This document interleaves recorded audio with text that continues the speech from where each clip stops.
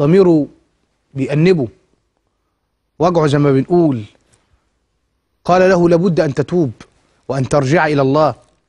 لأن الله قال إنما التوبة على الله, على الله للذين يعملون السوء بجهلة ثم يتوبون من قريب فأولئك يتوب الله عليهم. فأولئك يتوب الله عليهم. فالله سبحانه وتعالى القاعدة من تاب تاب الله عليه. مهما فعل الإنسان مهما فعل الإنسان. إلا إذا كانت يعني الأمور خاصة بالبشر. ظلمت إنسان خدت فلوس إنسان خدت حقه خدت ميراثه.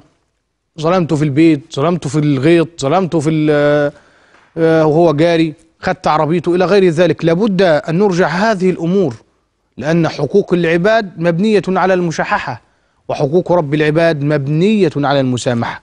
القاعدة من تاب تاب الله عليه. إن القرآن عندنا في سورة الفرقان والذين لا يدعون مع الله إلها آخر ولا يقتلون النفس التي حرم الله إلا بالحق ولا يزنون.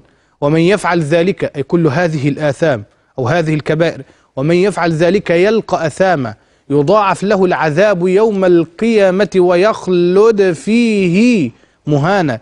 إلا من تاب وآمن وعمل عملا صالحا فأولئك يتوب الله عليهم وكان الله غفورا رحيما ومن تاب وعمل صالحا فإنه يتوب إلى الله متابا.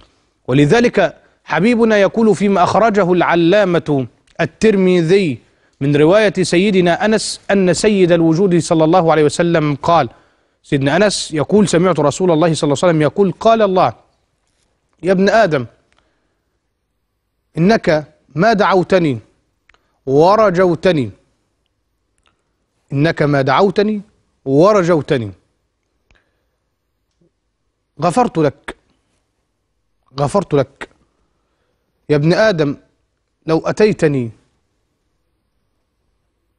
بذنوب كعنان السماء ثم استغفرتني غفرت لك.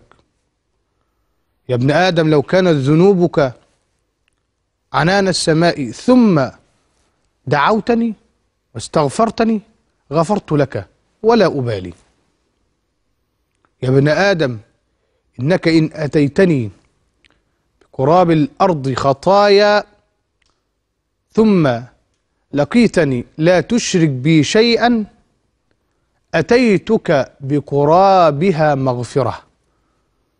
يا الله يا سيدي يا رسول الله ما هذا العطاء الإلهي؟ يا ابن آدم لو بلغت ذنوبك عنان السماء ثم دعوتني واستغفرتني غفرت لك ولا أبالي. حقيقة يعني الذنوب لو بلغت عنان السماء لكن التوبة والندم إن أنت قصرت في حق الله وفي جنب الله أن تقول نفس يا حسرة على ما قصرت في جنب الله وإن كنت لمن الساخرين. فهذه النفس إن عادت وتابت وأنابت ورجعت إلى الله عز وجل الله سبحانه وتعالى يغفر له. يا ابن آدم لو بلغت ذنوبك عنان السماء ثم استغفرتني غفرت لك ولا أبالي. ما هذا العطاء الإلهي؟ ولذلك أقول قصة عظيمة.